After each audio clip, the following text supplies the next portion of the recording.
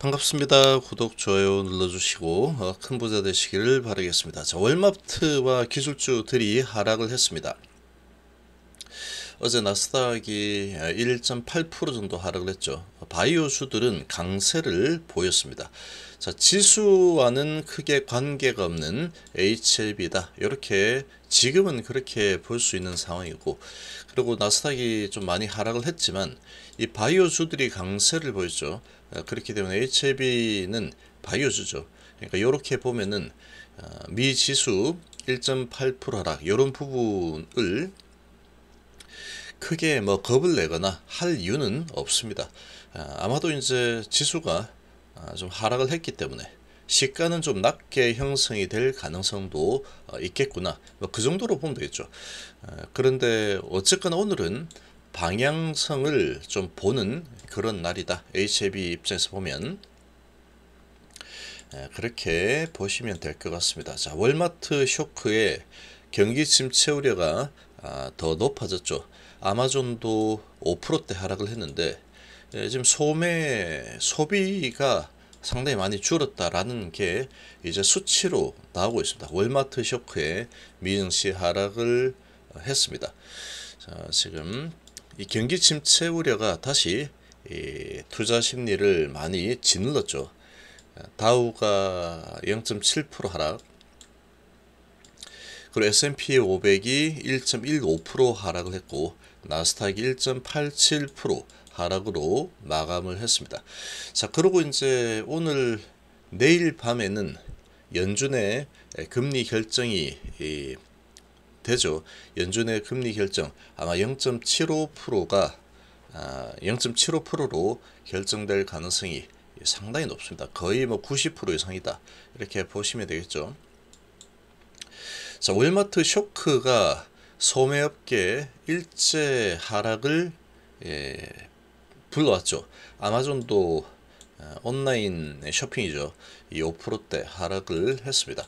자, 월마트 실적에 주목을 했는데 식료품 가격 상승 여파로 분기 및 연간 이익 추정치를 하향 조정을 했습니다. 자, 인플레이션으로 인해서 소비자들이 의류 등 일반 상품 지출을 줄이고 있다라고 경고를 했죠. 그래서 월마트가 7.61% 급락을 했고 요게 이제 이렇게 하락을 하면서 대표적인 이 소비 관련주죠. 자, 소매가 아, 소비가 아, 많이 줄어드는구나. 이렇게 이제 예, 좀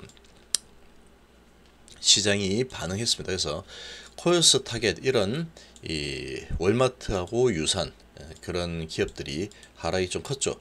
9% 3%대 하락을 했고 메이시스 노드스트롬 7% 6%대 하락을 했습니다. 자, 그리고 어, 지금 이렇게 이제 나왔는데 자, 소매업계 불똥은 온라인 유통주에도 번졌죠. 그래서 아마존도 5.23% 하락을 했습니다. 자, 팬데믹 수혜주로 아, 이렇게 각광을 받았던 쇼피파이 14% 급락을 했고 아, 지금 뭐 판단 잘못했다. 그래서 직원 10%를 해고하겠다. 이런 발표가 나오면서 14% 급락을 했습니다. 자, 팬데믹으로 전자상거래 붐이 얼마나 지속될지에 대한 이 판단이 잘못됐다. 그래서 아, 직원 전세 직원 10% 해고를 하겠다라고 발표했죠.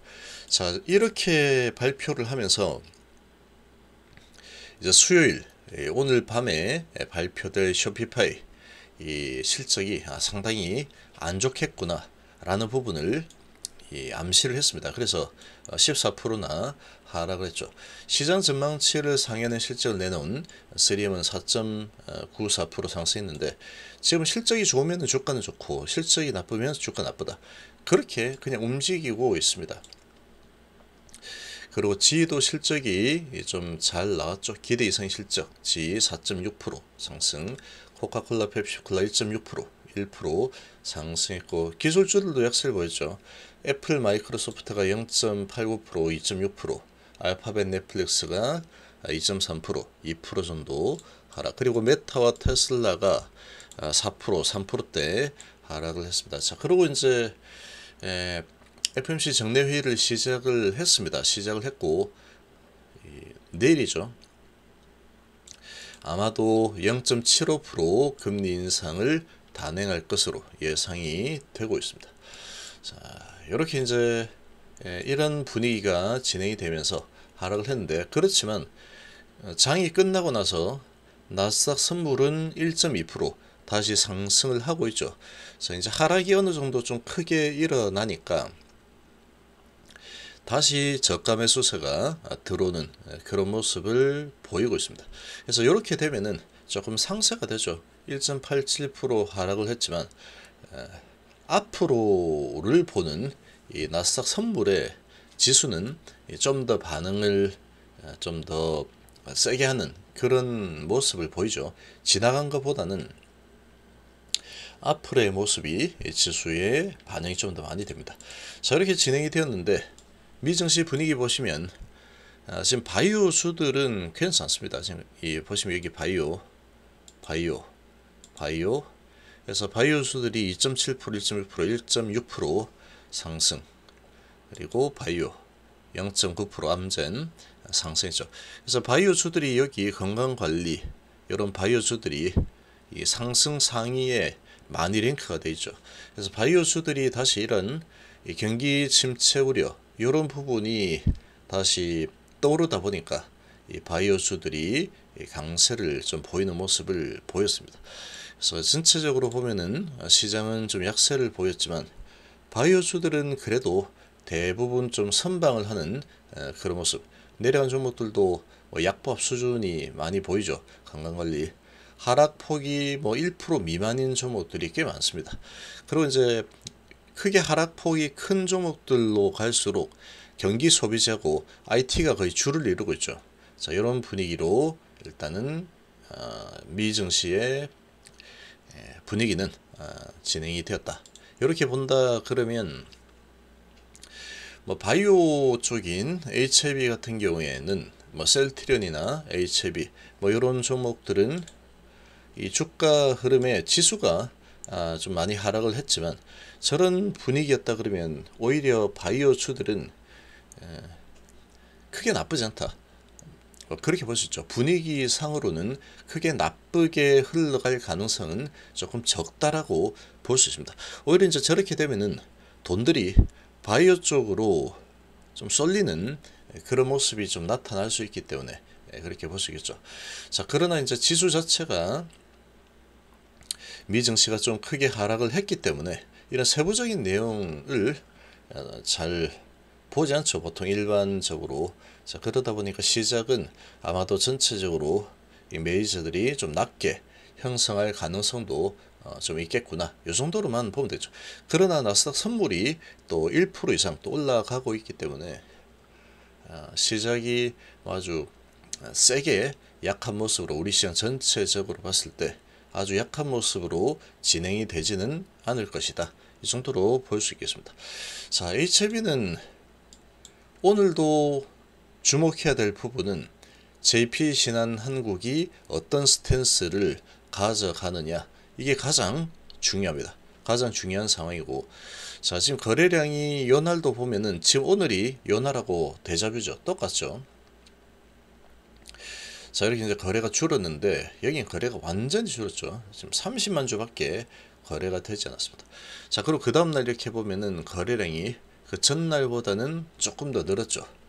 아, 그런 분위기였는데 자 이제 주가를 끌어내리는 쪽으로 어, 좀 힘을 쓴다 그러면 거래량이 어제보다는 조금 늘 수 있습니다. 거래량이 조금 늘 수 있는 상황이다. 그러니까 이 부분을 오전에 좀 잘 지켜볼 필요가 있겠죠. 여기서 이제 눌러주는 아래로 누르는 작업이 또 진행이 된다라고 하면은 요 모양하고 아주 유사한 모양을 만들 가능성이 좀 있습니다. 아, 지금 미, 미증시도 하락을 했겠다. 뭐 미증시 하락했으니까 내가 누르는 거야. 그리고 이제 이렇게 JP 신한 한국이 작업을 걸 수도 있겠죠. 자, 그러나 뭐 장이 열려봐야 되니까 이거는 이제 어쨌거나 이 개인들을 속여라. 이게 이제 미션입니다. 얘들. JP신한 한국은 어떻게 하면 개인들을 속일 수 있을까? 그리고 내린다 그러면 안 내려갈 것처럼 해서 주가를 끌어내릴까? 그러다가 이제 에, 개인들이 손을 쓰기가 좀 어려운 그런 환경이 만들어지게 되면은 그냥 뭐 세게 내려버리죠 이렇게 그런 모습이 나올지 자 이게 이제 제일 두려운 거지 뭐 엘도석은 항상 두려워하는 게 좋습니다 내려칠 땐 정말 너무나 크게 세게 끌어내리는 그런 모습을 보이면서 내려서 먹는 그런 습성이 있기 때문에 이 부분은 항상 경계를 좀 할 필요가 있겠죠. 그래서 그런 부분이 만약에 에, 나온다 그러면 내가 이제 비중을 좀 조절을 해야 될지 이런 부분은 어, 개인적으로 개인별로 다 성향이 다르겠지만 조금 고민을 해볼 필요가 있겠죠. 지금 그런데 아직까지는 특별하게 이제 아주 어, 매도 신호가 나왔다라고는 볼 수 없습니다. 지금 지금 뭐 20선 위에서 살아 있죠. 살아 있는 상황이고 하다 보니까 그렇게는 볼 수 없다. 그렇지만 오늘 이제 어떻게 진행이 될지는 좀 지켜보는 게 좋겠죠. 여기서 21선만 지켜주는 모습이 나온다 그러면 아, 여기서 버티는 흐름이 나올 수도 있습니다. 버티는 흐름만 나와준다 그러면 그 다음에는 이제 특별하게 아, 크게 고민을 하지 않아도 되는 어, 상황이 만들어질 수도 있다. 그렇게 볼 수 있죠. 얘들이 어떻게 방향을 잡을지 이게 가장 관건입니다. 지금 HIV는 현재 어, 재료 공백 상태이기 때문에 이 재료 공백 상태를 어떻게 어떤 방향으로 어, 지금 설정할지 이 부분이 단기적으로 봤을 때는 가장 중요하다. 이거 뭐 한 달 남은 거 내려 떨리겠다. 그러면 뭐 할 수 없는 거고 어떻게 할 방법이 없습니다. 이 세력들의 의도를 잘 읽고 대처를 어느 정도 하는 거 말고는 우리가 할 수 있는 거는 없다라고 볼 수 있죠. 아니면 이제 9월달에는 어차피 올라갈 거니까 난 지고 있겠다. 그럼 뭐 그냥, 그냥 그렇게 가는 부분이고 그렇게 성향에 따라서 좀 바라보면 되죠. 아무튼 이제 어떤 식으로 흘러갈지는 오늘 상당히 중요한 날이다. 오늘하고 내일은 아주 방향을 결정하는 중요한 날이 될 가능성이 높다. 이렇게 볼 수 있겠습니다.